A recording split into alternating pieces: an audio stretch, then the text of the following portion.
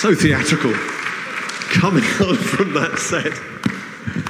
Fantastic. Lovely to see you. Thanks so much for coming and welcome to this absolutely brilliant venue. We were here last summer, a little gathering, and it's lovely to be back, particularly today, uh, because for us, kindred spirits, uh, this day has a, a certain very delightful significance.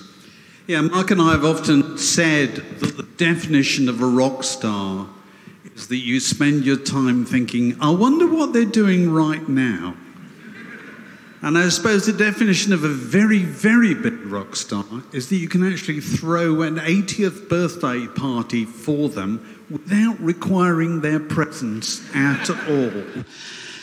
And uh, that's certainly the case with James Paul McCartney, who was born on this day 80 years ago when Rommel was still chasing allies around the western desert, which is a considerable long time ago.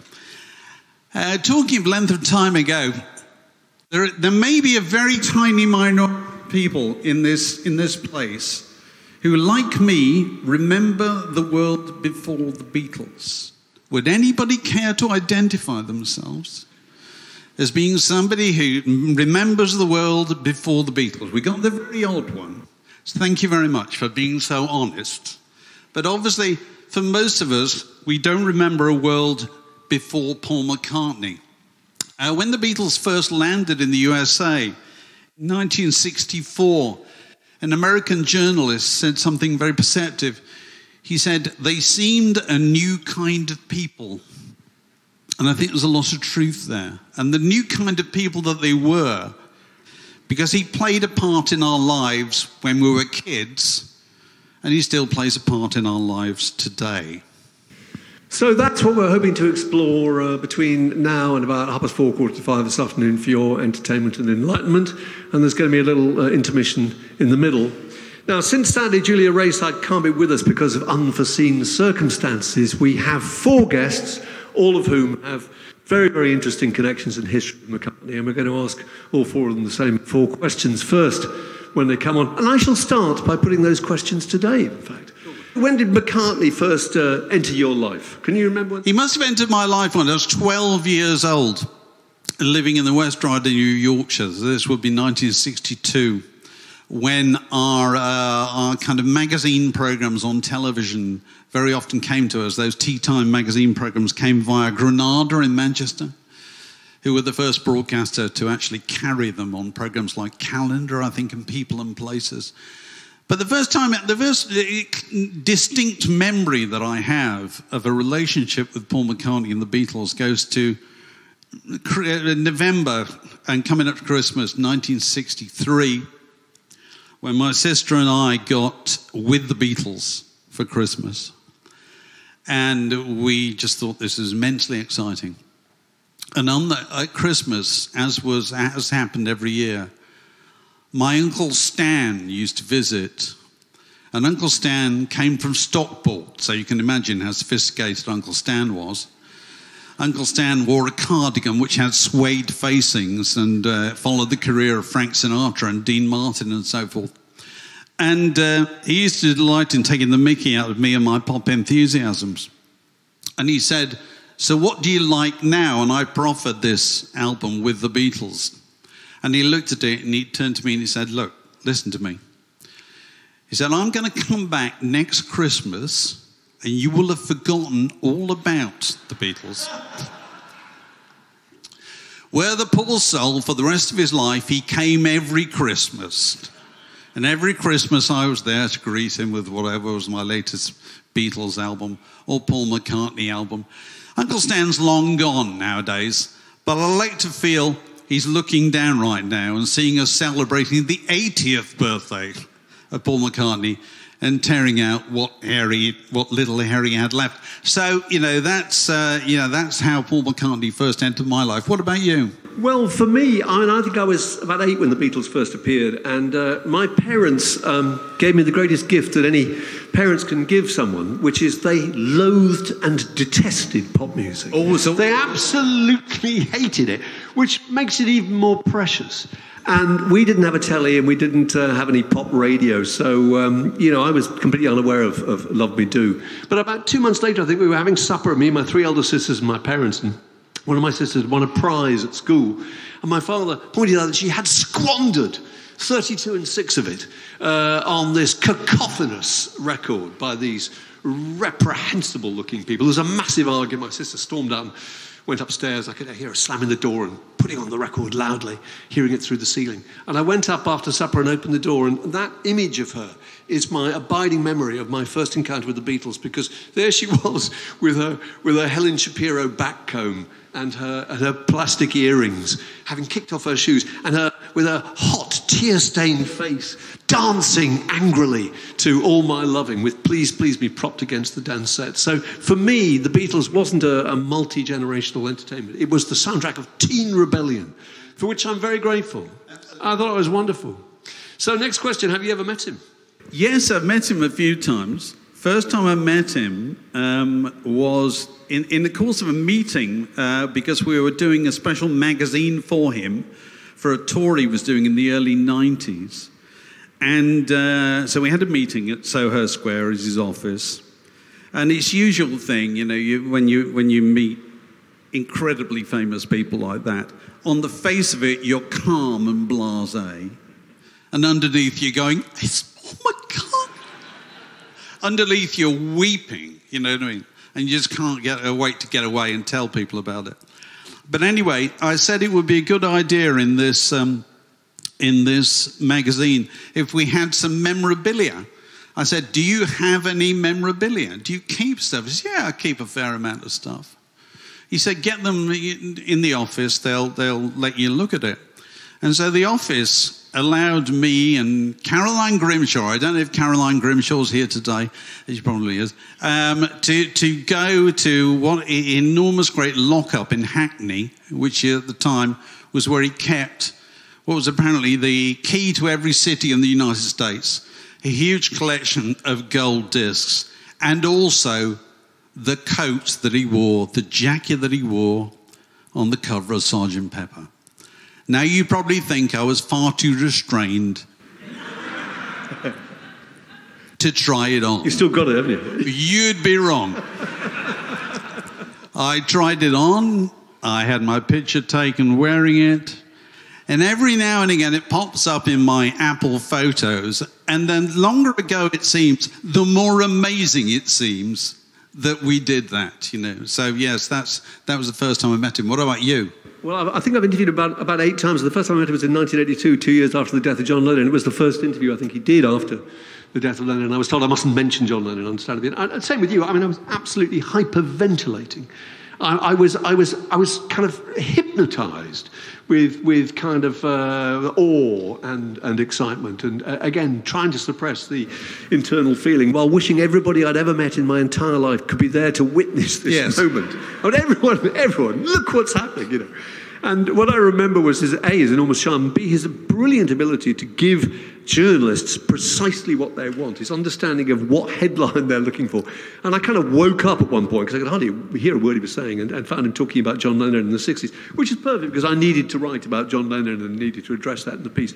And I remember when I talked to him in for the Radio Times for the last Jubilee, must have been what, the, the 60th Jubilee. And uh, he came up with this wonderful quote about the Queen. He described uh, Her Majesty as a babe. Which is just brilliant. It's kind of cheeky and really, really. It's Radio Times quote. Radio Times quote, and Radio Times all over the world. And I can remember the two of us looking at each other. and He said that. He said, "We don't really need to talk yeah, anymore. Yeah. It's in the bag." Yeah. So he's an absolute genius. Yeah. yeah. What's your favourite Paul McCartney story? Um, well, I've got, I've got a, just a couple of really short ones that I think are interesting because they, they show different sides of his character. One is 1966, when they'd been touring incessantly and recording forever. They hadn't had any time off for years, really. And he felt imprisoned by his celebrity.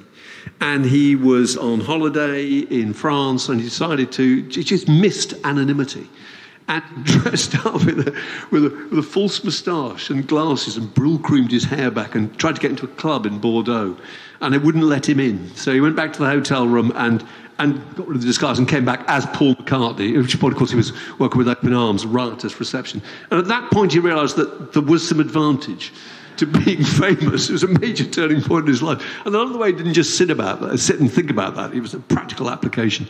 And the other is just a really touching story, I think, when uh, Cynthia Lennon fell on hard times later in life, and she sold a letter that John had written to her in, in 1965 when he was on tour, expressing great affection and homesickness.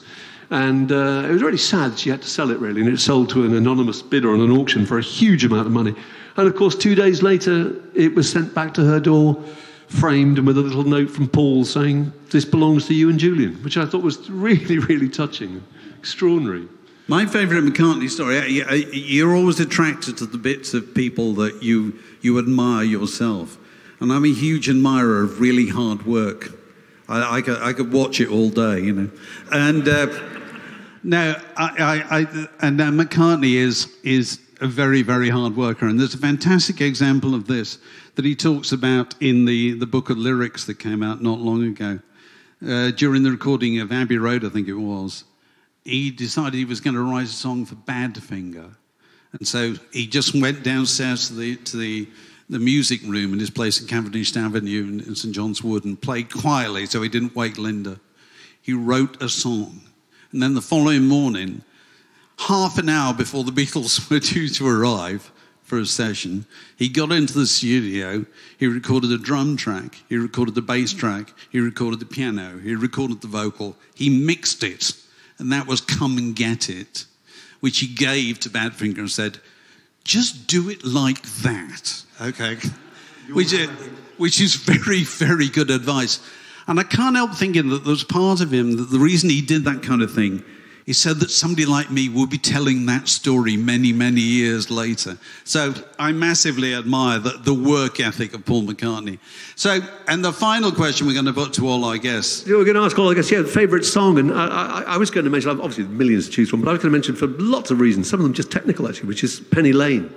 I think Penny Lane is absolutely extraordinary. Penny Lane is in my ears and in my eyes. It's, it's, a, it's a little miniature movie with a soundtrack, you can hear Penny Lane in the late 50s with its brass bands and its fire engine. You can see Penny Lane as the camera pans across that area by the bus stop. Um, you know, all the little details. The three main characters, it's just like a film script. Three main characters have a verse each the barber, the banker, um, the, uh, the fireman. And in the last verse, all three of them meet up again in the barber's shop has a wonderful kind of circular nature to it.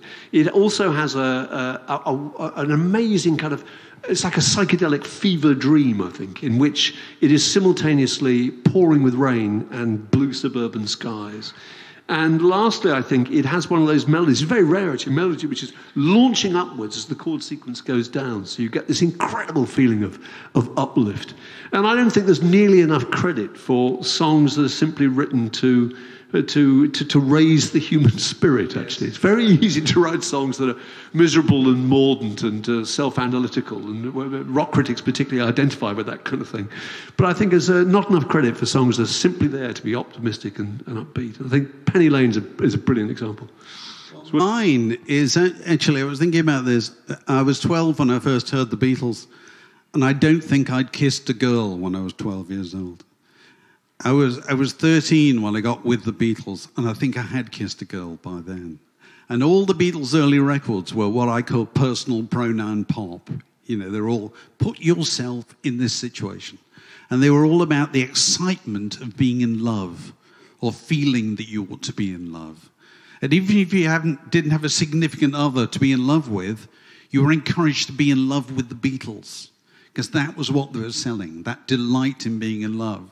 And so the record that I would choose to explain Paul McCartney to a Martian, in the sense that if you don't get what's wonderful about this, you don't get what's wonderful about pop music, is All My Loving, which starts with what I still consider the greatest opening line in pop music Close your eyes and I'll kiss you.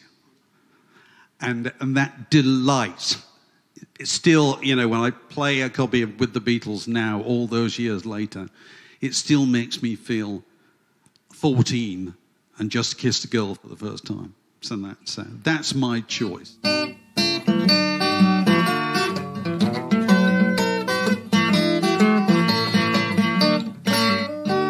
You're listening to a podcast from The Word. So let's bring on the first of our four guests this afternoon. Uh, the first is an old friend of the pod who's been a regular host on Virgin Radio and Absolute Radio, BBC Five Live, and other places. He's won two gold awards from the Radio Academy. He presents the podcast Reasons to Be Cheerful with Ed Miliband. But the reason he's here today, apart from being an old mate, is that whenever he's had access to a microphone, He's used that access to talk about the Beatles and Paul McCartney. Would you please welcome Geoff Lloyd? Are you all right standing? You go there. Megan. Let's go and get on that one. The, the, length of the entrance is longer than any round of applause that I would deserve. So if I did that, that little jog, it wasn't energy, it was nervousness. So, so Geoff, the, the four, four questions. When did Paul McCartney first enter your life? I was born in 73, so after the Beatles split up. And I, feel it's a it, I was thinking about on the way here, it's a bit like, I imagine, kind of um, being in Camelot after those Knights of the Round Table have been off and done their quest. And what do those guys? Yeah, you're aware of them. All of them I was aware of. Um, I, I, can't remember not being aware of them. But also, you know, they, they seemed like they belonged to a different time, to the extent that there was a guy, um, an old man called Mr. Cutbush, who used to come into our school and play piano. And, um, it, you know, it's all stuff like my grandfather's clock and lots of old standards. And, and when I'm 64, was in there as well. So even, even by then, by the 1970s, that music was it, it, like it didn't belong to anybody. It was just part of everything by then. Um, so him, him individually, I, I, like I, remember seeing him on things like maybe Swap Shop or Saturday Superstore. He was like a, always a presence, um, but he, he, belonged to the fabric of everything by then, I think. But, but you knew him as a solo performer yeah. rather than a Beatle. Yes, and you know, I, I, um, I was a child like when the, the Frog Chorus came out, so I had a fondness for that. So all those 80s records, you, you, just hear everything back then because all, all, it was either Radio 2, which played big band music, or the pop stations played everything going back to the beginning of, um, beginning of the rock and pop era. Because it seems so interesting to, to Dave and I, because we're old enough to have seen all the Beatles records chronologically. So whenever a record came out, you knew what the one before had been, and yeah. you knew what had influenced it, and you saw it all as a progression. But for you, you were just going back and you could randomly alight at all sorts of parts of his career. And... Yeah, and, and um, I, I, got into the Beatles through Plastic Ono Band, which thinks such a with hindsight is such a strange way. Because it, I had that thing where where I I was just aware of them, and you'd still hear in the 80s things like I Want to Hold Your Hand or She Loves You or Hello Goodbye on the radio with regularity. But I'd never delved into them. I knew there was a reverence. And then I'd started working in radio, and somebody gave me a copy of Plastic Ono Band, which had just been reissued, and said, Listen to this. And I went in a little room and thought, Oh my God, this is the greatest thing I've ever heard. Now I have to start buying the Beatles records. And I think I started with Sergeant Pepper and then fanned outwards from there. But I really envy anybody who got to hear it with fresh ears. It must have just been the most amazing thing. But my parent, parents had no interest. Mum was this huge Elvis fan, and my, my dad prides himself on being able to spot a number one. I'm not sure he should be proud of that because, like, often that means we've got like a box of right old shit in our house. you know, um, some of it's great, but like there's a lot of kind of awful things like Bobby Goldsboro, Honey, and and he's one of these people who will pride himself on. Well, I was never that fussed with the Beatles. Like, why, why isn't that a source of shame for you? You, know, you, you, you, were one of those people who made sure Engelbert Humperdinck kept Penny Lane and Strawberry Fields off number one. Like, you, you, you should be held responsible. There should be something like the Nuremberg trials for people like you. So the second question is, have you ever met him? You've met him. Yeah, so I'm, I'm lucky enough to have um, met him lots of times through my job. Um, the first time was on Run Devil Run. And I didn't know I was going to meet him. I, I got invited to the album launch. I'd, I'd, moved from Manchester to London. Up until that point, the closest I'd got to Paul McCartney is a friend of mine worked on a TV show called That Show Business with Mike Smith and Mike McCartney was on it, and I got to be in the green room at the same time as Mike McCartney, Paul's brother, and that, that was so exciting that I'd got that one degree of separation from a Beatle. That was enough for me. And, and then we were invited to the album launch of Run Devil Run, but it was at the same time as we were on the radio, and this was Virgin Radio when Chris Evans owned it. So we thought, well, it's, it's we're in Golden Square in Soho.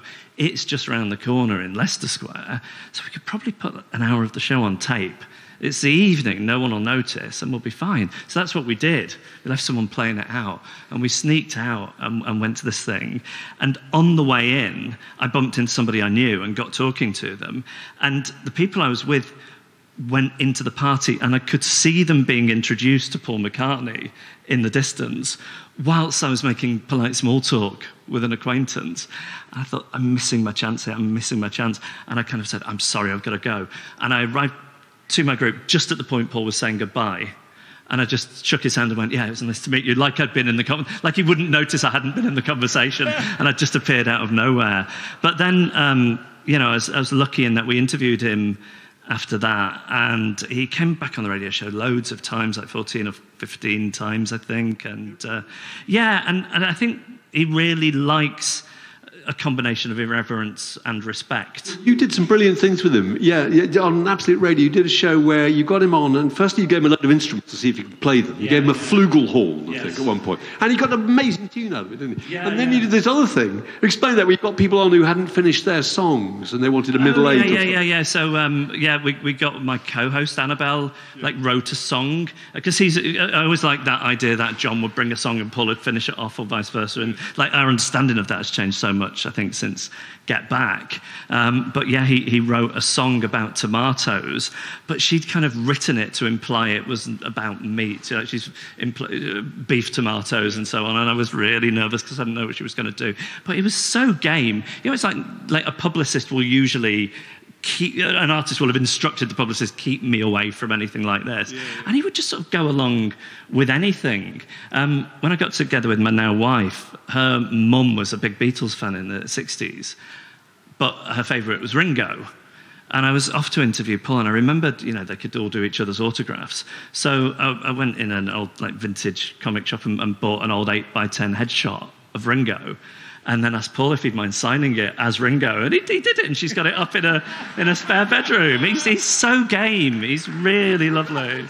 Yeah. Because you, Mark, you ought to explain this. They could all do each other's autographs because you've seen well, I interviewed George. I interviewed George Harrison, and uh, I, I, took along as a bit of an icebreaker. I took along uh, my wife's. Um, picture that she sent off to the Beatles fan club um, uh, when she was, however, 10 or something like that. Picture she cut out of the, of the Melody Maker or something. And it had come back with all their autographs on it. And I said to him, Is there, Are these genuine? You know? And he said, I don't think they are. I think they were probably mostly done by me. And he then demonstrated himself doing it, which yeah. is incredible. The great big squiggle under the John Lennon, the Ringo Starr with a little star, yeah. the Paul McCartney with a great big Y. And it was just a brilliant thing that they did. And uh, who cares? I mean, yeah. nobody got hurt. I'm sure there are lots of Ringo Starr autographs. Neil Aspinall or Mal Evans. Yeah, yeah, yeah. But yeah, I think if you've got a Beatle doing all four, that's quite exciting. Exactly, exactly. So, what's your favourite McCartney story? Um, I d- I don't know, you know. I, don't, I heard one a, a, while ago. Do you know Ted Robbins is? You know, Kate Robbins, the, uh, the comedian and impressionist who's Paul's second cousin. She's also got, I don't know if he's a twin brother or, but yeah, he, he was in, I think, Phoenix Nights, but he's best known as a, a warm up man. Uh, he does all those like Granada, Shiny Floor, light entertainment shows. And um, he, he told me a story that a TV company had approached him um, a few years ago to, to host a program about the Cavern and the Merseybeat scene, and he was really flattered to be asked. Um, you know, he's a local radio DJ on BBC Manchester now. So, so he says, sure, I'm, I'm up for it. And then, of course, in the first meeting, they say, um, so is there any, any chance you could, uh, you could get an interview with Paul for us? And, and he has to say, look, you know, in, in the family, it doesn't quite work like that. There are certain boundaries and um, you know, if if you would like me to, uh, you know, there's somebody at Paul's office who organises that side of things, and, and I can contact them. But you know, I know he's busy with this, this, and this at the moment, and, and it's uh, it's not going to happen. Um, but i am happy to do it for you. So they say, yeah, that'd be great if you could. So he contacts MPL or whoever it is, and, uh, and sure enough, the, the answer comes back no. And then a few weeks later, his phone rings, and it's Paul. And Ted answers and says, Hi, Paul. He says, um, Hey, Ted, you know, if, um, if you ever want me to do something, you know, you, you don't need to ring the office and then have them tell you to, uh, to fuck off. Ring me directly and I'll tell you to fuck off.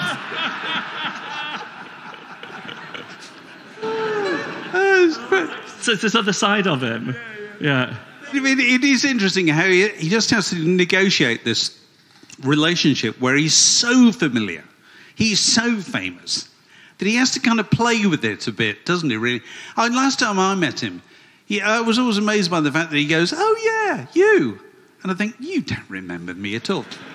And then I think to myself, Well, actually, if you're Paul McCartney, you've met everybody in the world, and the people you haven't met are not going to deny it, are they? You know what I mean?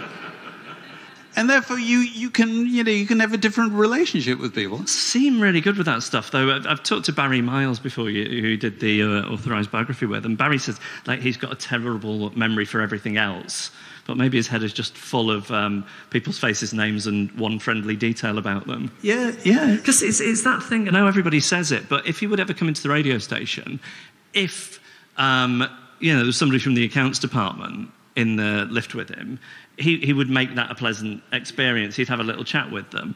And, and it, if, if you don't know him, if you, that, that could sound like somebody walking through the world with sort of an, an inflated sense of self, which I don't think it's possible to have if you're Paul McCartney. But actually, I think it's, it's, it's this thing that's really integral, to him of, of just being nice and making the world. Making people happy, I think. It's as simple as that. You know, if he just says hello to people, they all go off and tell 30 people the, people get it in their head that is, is, you know, the ultimate PR man, which I think he is in some respects. But I don't think it's just that. I think it's, he, he thinks that's the way people should behave. It's interesting because I can remember interviewing Rod Stewart once, and he said, Rod Stewart said, I never go out without a pair of dark glasses on, so that no one can make eye contact with me. So it looks so they can't approach me really, and it doesn't look like I'm ignoring them.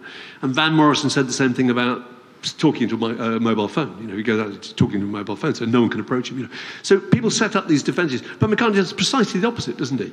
He actually he has this method where he just keeps walking really, really fast because he's heading somewhere. So he hasn't got time to stop and talk yeah. and take selfies, but he'd give you a little thumbs up. Yeah, yeah. And that's an extraordinary uh, gift, really, isn't it? It is. The way, the way they sort of move, it, it, like his thing is keep moving. And I'm sure that must have been true for all of them. And that just must be muscle memory. That's what they had to do. You know, they couldn't keep moving or it ends up like, you know, the beginning of a... He gets on the train on his own. He still gets on the train on his own from Sussex. I think, I think so there's no way you can be Paul McCartney and live a normal life. But I think the idea of normality is really important to him. I think he, he on some level, understands that that's how you stay sane because he has sort of stayed remarkably sane. If you think about it, I mean, even, even where he lives, okay, so it's like a 15 million pound house in St John's Wood in London, but it's, it's a house he bought in 1966 that if it was anywhere in the country, it'd look like a, a doctor's house or a lawyer's house, and he's never moved out of it. And then within that huge sprawling estate, in, in Sussex. I think he lives quite modestly in the middle of it. And th- that's a decision because that's not what his peers are doing. That's not what it looks like if he goes round to any other rock stars, like Jimmy Page's house down the road, which looks like a castle. It's, it's a choice he's making because he, he must understand on some level that's, that's what keeps him, keeps him grounded. So, what's the record that you feel would explain Paul McCartney to a Martian? Well, this was a, a, um, you, you told me to think about this in advance. And um, I wondered if maybe it would be the, uh, the Hollywood Bowl just for the screams. Because actually, I was really worried about this Martian, you know, not having the same, maybe not knowing English, maybe not having the same musical vocabulary, maybe it's a different scale. And then I was thinking about the screams. And I wonder, you know, just in terms of making people happy, like what I'd love to show to a Martian is all the people in Paul McCartney's wake. So that could be screaming teenage fans, people running across the field at Shea Stadium, or it could be that documentary they made after 9 11, which is him walking around New York, or it could be him with um, James Corden in Liverpool. I think, like, to understand what Paul McCartney has given to all of us, and we're so lucky to live on the planet at the same time as him, is, is just like seeing that reaction from people. It is fantastic, isn't it? There's, yeah. there's some footage of Hollywood Bowl, isn't there? Girls just, you know, just, just fainting yeah. and screaming and weeping. And yeah. I don't know why I've watched it so many times, but it's just, there's something really kind of moving about yeah. it. Really. And to put that into the world, and then all the people he has inspired to become musicians, and the amount of happiness that is, I mean, it's just, it, you know, it goes on. Do you have a pet theory about Paul McCartney? You asked me this yesterday, and I feel, like I feel like most of my time, my, my neutral isn't like mindfulness. It's like some like theory that I've got that day about the Beatles or the interpersonal dynamics about the Beatles, and I've completely choked in the face of that question. Um, you know how he, if you see him in concert, he won't. David's going to be annoyed at me for saying this one, but um, like he won't take a drink of water on stage. And if he's interviewed it, he'll always say, "Well, you know, the Beatles never took a drink of water on stage. It's you know, it's not cool. It's not professional." I thought, well, you never played for longer than 25 minutes, and when you were in Hamburg, you were doing more than drinking water on stage. And I just wondered if it's bladder control. Like I'm, I'm worried here now, and you know, he's 80. So, so that's my theory. All right, Geoff Lloyd, ladies and gentlemen. The Word Podcast, one of the few things you really need in life. Um, we're going to bring on our, our second guest, who's a, a, much loved and much admired and much respected uh, member of the literary world and author, and the co host of the, um, the wonderful Backlisted podcast. He's also the. Uh, singer and the keyboard player in the non lookalike Beatles tribute band Shabby Road, and the last time I was on stage, David and I were on stage with him talking about McCartney. He was wearing an absolutely fantastic uh, magical mystery tour McCartney psychedelic tank top, which I thought he'd be wearing today, but he isn't. He's wearing something else. Andy Miller, come on and explain to us what on earth it is. This is a, he hasn't told us it's a very specific look. It's a particular moment.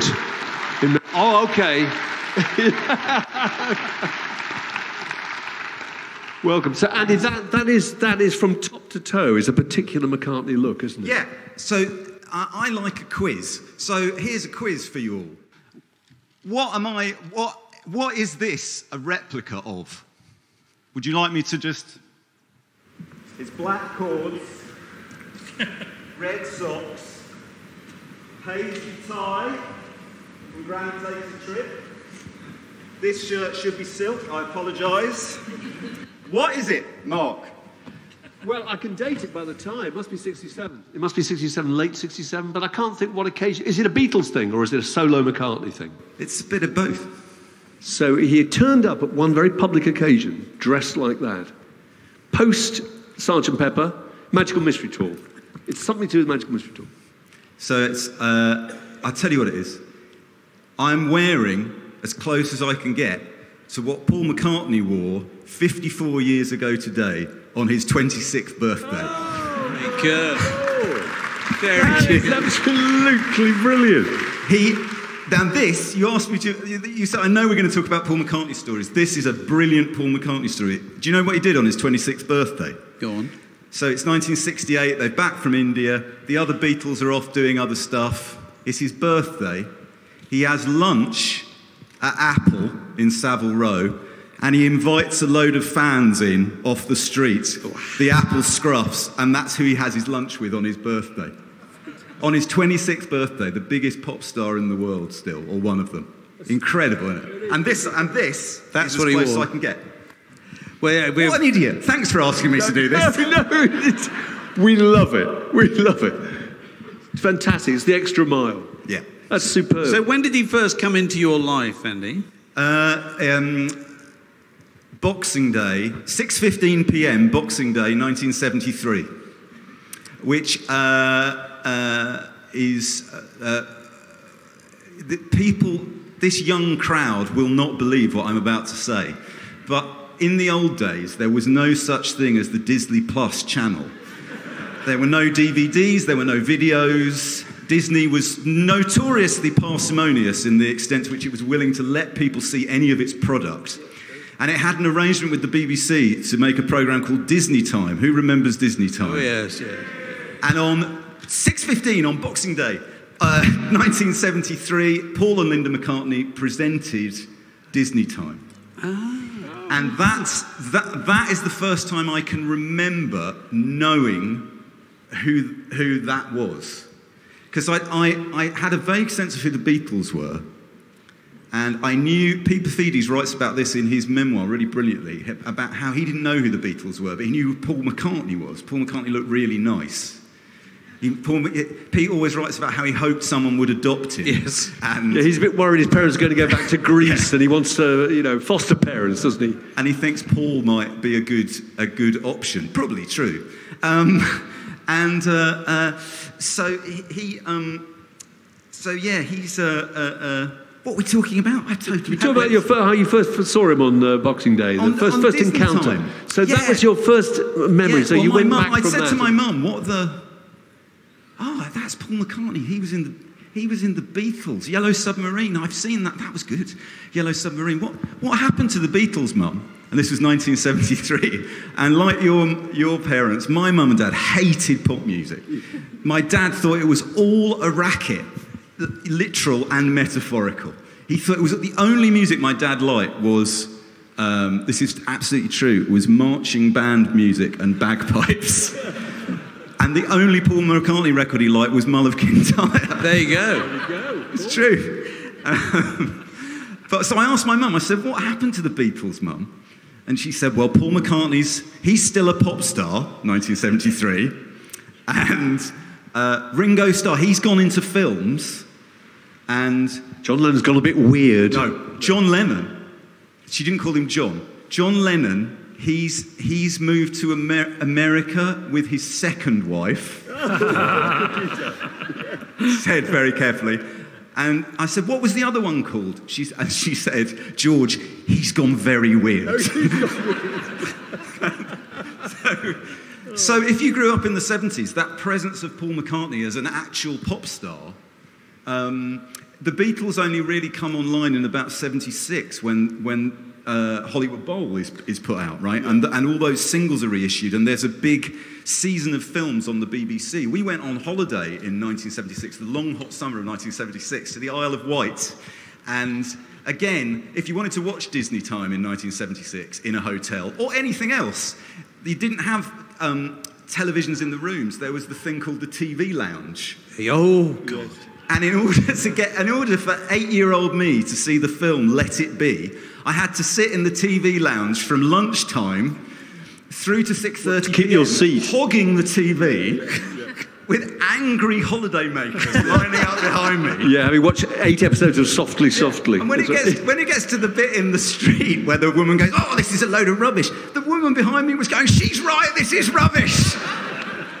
so it's the punk rock moment on the Isle of Wight. Yeah. Have you ever met him? I don't think you have. But Well, I can beat Yeah. all of you because I've had the purest form of meeting with Paul McCartney, which is I've not spoken to him, but we have met. Uh, which is that ever since about the age of um, 10, 12, whenever I was allowed to go up to London on my own, still to this day, if I'm in the West End of London, I always, always walk through Soho Square. Just in case. Just in case. Just in case he's coming out of the building. And only once has that ever happened. So I was walking, I was walking across Soho Square. I come past and I turn round and there's Paul McCartney. And I, I'm, I, so I'm seized with thinking, what shall I do? I went, and he went, There you go. so that beats you all. I think that's the purest form of communication you can have with the great man. That's amazing. A double thumbs up too, not a single, a double. we should have a Get Back conversation because Get Back, v- v- both of you, both of you have seen it, and, and it, it, it completely changed the perception of Paul McCartney. For a lot of people, up, up till then, Lennon seemed to be the perfect um, template for the kind of tortured genius, didn't he? You know, uh, a mordant, uh, self-analytical, Yeah. and McCartney kind of ignored and sidelined for apparently being superficial and whatever. You know. So Andy, you you, you, you had some theories about what Well, my theory is very basic, which is it was really simple. And I think it became clear to me watching Get Back, and it, it really made me understand so many things about the Beatles and about Paul's uh, musical decisions ever since. And it, and it will sound really banal, so hear me out. And it's the simple realization that he is a genius. Now, the other Beatles are very talented, and John Lennon uh, was at pains to point out repeatedly that he believed he was a genius. Paul McCartney never does that. And the reason is because he doesn't have to, because he is a genius. a musical genius is what I mean. That there were moments where you could see music flowing through him, or where he would say, Well, we could try this harmony line. And he'll put a line on the top that isn't like the bog standard third above. It's a real counter melody that he's come up with with the top of his head. And you can see the other Beatles going, What, we, we do what now? We, we, we, you know, in a kind of cooler way. And it made me realise imagine you were, you were John Lennon with your skiffle group when you were a kid, and you accidentally end up with a musical genius in your group. That is going to really fuck you up forever. So, to be fair, and if you go back to, you know, when they met, I think I'm right in saying this, Geoff, you bear me out, that McCartney is introduced to Lennon and plays and shows off by playing 20 Flight Rock, doesn't he? And he yeah, knows and then all a, the whole words. bunch of stuff after the gig. Yeah. And then he does, he does his Little Richard Yeah. thing. And John Lennon was bright enough to know this guy's better than I am, but I still want him in my group. Yeah, yeah. I just, I think you can see the dynamic though, that there, in Get Back, you can see uh, George spends a lot of time being the, the, the conduit between the two geniuses. Or, or, or like, you, what were you saying? Like that, the story I was telling about McCartney inviting fans in to share his birthday. That's the last thing George Harrison would do. There's that brilliant bit in Get Back where he's going, Why would we go on the boat? On a boat, yeah. Why would we go on the boat? There'll be all these the people fans, there. all these people. It's an absolute nightmare for him. The idea, the idea that you have to have fans around you, perhaps justifiably, um, but but. So I- weirdly, they did all Yeah. do that though. Do you ever look at that website, Meet the Beatles for Real? yeah. It's so odd in, in like the, the, what celebrity looks like now and how removed from their fans a celebrity is. Yeah. That if you turned up at any of the Beatles' houses, even George, you were quite likely to be invited in for a cup of tea. yeah, yeah, yeah. Or, or you know, um, oh, can you drive me to Twickenham? I mean, it's insane how There's a- accessible they there's were. a- to their John invites some really quite unhinged there's a- character but from there's a Sweden. Boot, there's a bootleg of um, two American schoolgirls who, who were invited into George Harrison's bungalow in Esher. Uh, and they taped the conversation for, tw- for 20 minutes and it's out on a boot. And of course, it's, it's wonderful because it's like, do you, do you like going on top of the pops? well, it's all right, you know. But they, they work around, they, they're the ones who work their way around the Beatles, and the preceding Beatle would give them the next one's address. and say, we should go see George. yeah, yeah, yeah. It's the only way to get rid of them. Actually. yeah, yeah. Ringo's way. But d- d- going back to get get back, I mean, I, I was amazed watching it that, that, that the group had lasted so long, actually, because I would have thought that if you were in a group with somebody like McCartney, it would. Although obviously for the for the for the general good, it's wonderful having him there, and it improves your song. And you think of how he changed, you know, Taxman and you know, Come Together, and you kind of, a lot of Rain, and lots of songs you just can't imagine without his contributions, you know. Mm. But the idea that somebody arrives having not just written a song but written a record and, and can sing every single part and knows yeah, exactly yeah. how it's going. There's a bit where he's, he plays Maxwell's Silver Hammer and he goes, "You do this, you do this," and then there's this Yeah, bit, then there's an anvil. He says at the end, he goes, "And that's Maxwell," And, you know. And it's just he's got the whole thing in his Yeah, head. yeah, yeah. And you think, I, I don't know, it must be really hard to put up with But that. I wondered whether this, this accounts for some of the solo decisions. Again, I, this, this sounds like I'm being snide. I'm not at all. I think he, he probably hears music differently to the way lots of people do. And so it might seem obscure to us or even unpleasant to try and work out what he was reaching for with Bip Bop. But, but he maybe can hear something, some groove or some little melodic twist that we can't quite get our heads round. And, you know, when we get on to talking about the record, I think there's some you know, he doesn't like this record at all. I really love there's a, the LP Red Rose Speedway, which is kind of seen as a, a flop and where are the Beatles songs? And it, it, for me, that's almost the purest example of his unfettered musicality trying to express itself in different genres, right? Before he then ret- retrenches brilliantly into pop music again. It's almost like, hey, this is a great little riff. i am just going to see where I go with this and see what happens. Um, which must be at odds, Dave, with the thing that you're always saying about him, which is uh, you both are saying he wants hits. You know, he wants to have milkmen. We used to have milkmen as well, whistling. yeah, yeah. That used to be milkmen. Um, but so, so there's a tension between following the muse, but also the muse seems to push him into perfectly arranged three minute pop songs. What do you think of his lyrics? And I'm asking you as a literary man here. Yeah. You know, uh, you know when, when you heard that he's, he's, he's, putting out two books of his lyrics, were, were you delighted or, or not? I don't know. This have you, have you read It's his birthday. Just don't spoil no, it. he's capable of, I think, I think you can see within the Beatles, he's always talking about the Beatles being good for him because it edited, they edited him, right?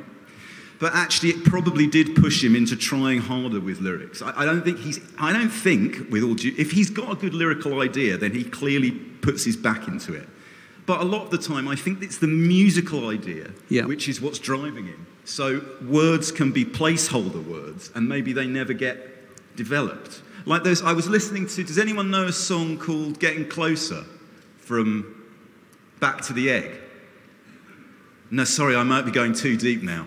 No, right. So on right on on um, getting closer, that's got a really brilliant tune. It's kind of that late seventies Wings. We're a new wave group now, right?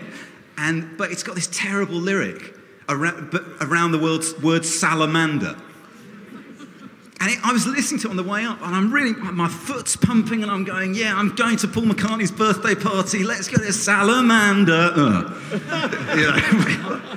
So, so some, but, but, you know, you hear all those stories about producers who will say to him, Paul, I don't think that's good enough.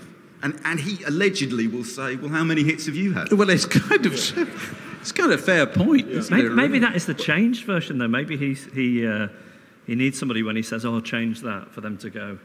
You won't, you, won't, you know. Yeah. well, everybody says. And I love like about being a fan that those words have become shorthand. Just that, that anecdote is so. Everybody who works for them says the same thing that he always says the same thing about Sergeant Pepper. If you try and disagree with him and point something out, he says, uh, "People said that Sergeant Pepper's Lonely Hearts Club Band was a bad idea for an album title." I rest my case. And of course, you're, yeah. you're kind of Newton, aren't you? What can People say? say? it's too long, you know. Yeah. The bloody, the bloody Beatles White Album. Shut up. yes, yeah, yeah, that's my favourite quote in the anthology. It says, "Shut up, it's the Beatles White Beatles Album." White it's like, you know, because there's a serious point there. He is the biggest Beatles fan. He is, he? yeah, yeah, absolutely. I think that is the key. There's no bigger Beatles fan than Paul McCartney. I used to irritate the other members of the Beatles very much because George, particularly, would say I see Paul's promoting his new album with our this stuff. Is it. But he doesn't, and he doesn't need to. You know, you were talking about Miles. When I, I Miles's book was it? It's called Many Years from Now. Yes. Was it? I kept reading that where McCartney was always in that book. McCartney's always going, well, you know, I think this song was uh, seventy uh, percent me and thirty percent John. You want to go, relax, mate. You're Paul McCartney. Yeah, absolutely. Sounds it's desperate. Right. There was an awful moment when he tried to get some songs changed to McCartney Lennon, didn't he? Instead of yeah. Lennon McCartney, once that he had the upper hand in, and somebody just eventually took him out for a quiet walk. yeah, yeah. But he doesn't. He is the last person to want to throw daylight on magic, where the Beatles right. are concerned. Whereas yeah. George was very keen to do that all the yeah, time. Yeah, yeah, that's true. I think. Yeah. Is that why he's still, you know? Still doing this at, uh, at 80. You know, he'd be playing tonight probably somewhere. I was, I was thinking when McCartney 3 came out um, and went to number one all over the world.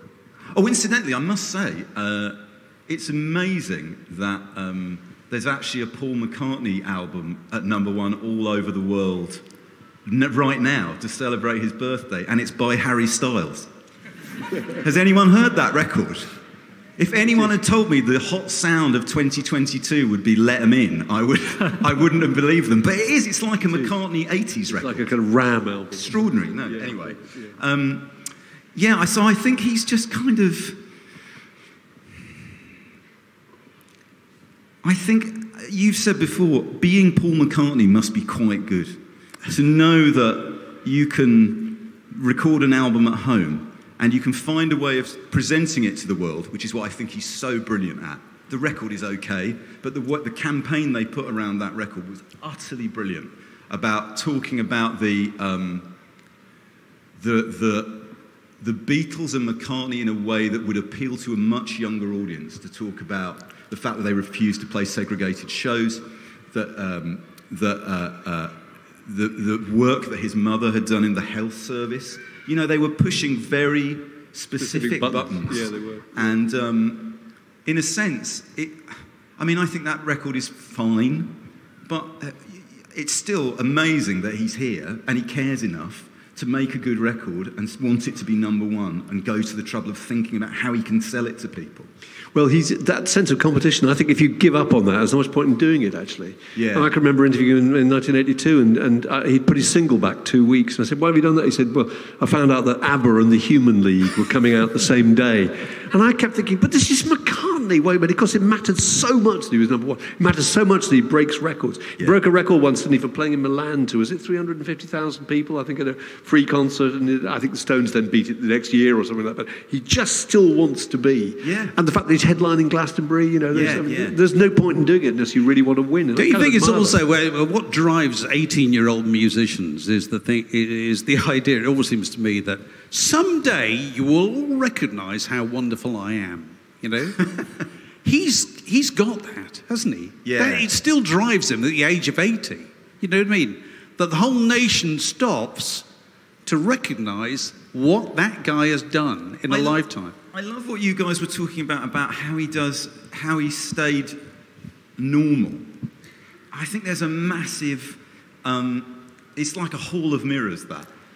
Right? I don't believe um, that a man who has lived the life he has and had the opportunities to visit the countries he's had and sample the best cuisine from all over the world, when he says, What's your favourite food? Egg and chips.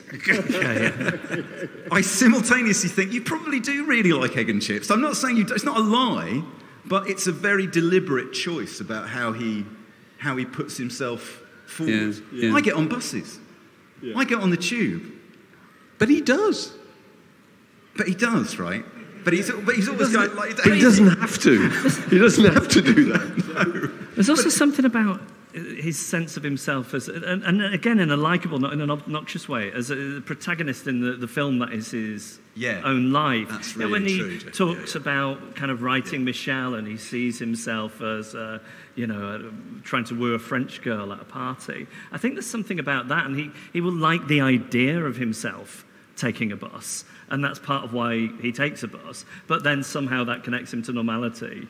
That's Yeah, the, the that outcome anyway. There's that song "That Was Me," isn't there? That Yeah, song, quite yeah, a yeah. recent one, with, with, with him saying, "Yeah, I did that. That was me. I, I, I played in front of those people. I, yeah. So I don't know. I think he really d- he doesn't like having his own memories um, reflected back at him as, as different versions of events, which you know is true for all of us. And in Get Back, it's been this gift for him, I'm sure, because if you, Yeah. you think about why people go into therapy. To, to be able to take this time of your life, which I think traumatized all four of them to, to some degree or other. Now, they, they were kind of retrospectively perhaps applying stuff onto it, but to, to be able to see it and think, oh, it wasn't like that, and I was right, and all Yeah, those things that I was you know, so hung up about people having wrong about me all Yeah, but also, years. yeah, and also, but had been made to apologise for, or Yes. expected to apologise for, for decades by the other Beatles and then by all of us going, what you, why'd you do it? You know, why'd you do it, Paul? Well, he, he didn't. but it turns out. So the question you haven't answered, Andy, is what record of Paul McCartney would you use to explain him to a Martian? Uh, I would choose, at the risk of going Alan Partridge, I would definitely choose Silly Love Songs. I think you go for the best of the Beatles album.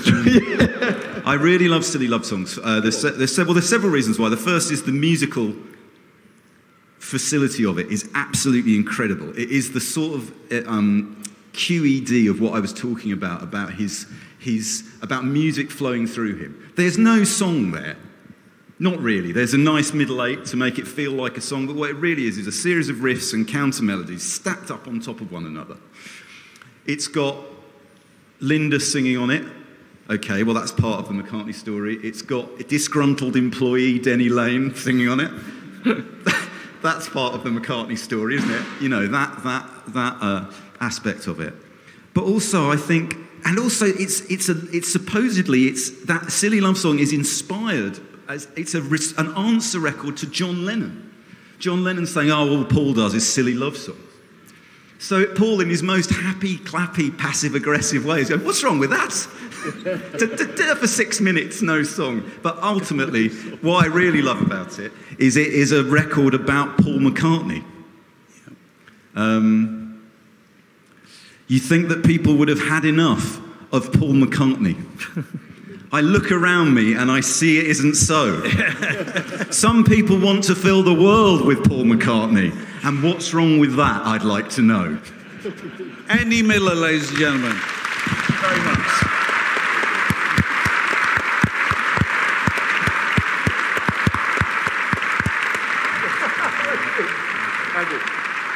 Thank you very much. Egg and chips! There's a massive thumbs up going on over there. Egg and chips! And at that, at that point, we're going to have a break. Uh, please get a drink, and uh, we'll see you back here in about 20, 25 minutes for the second half. Thanks very much. Well done. This podcast was brought to you by The Word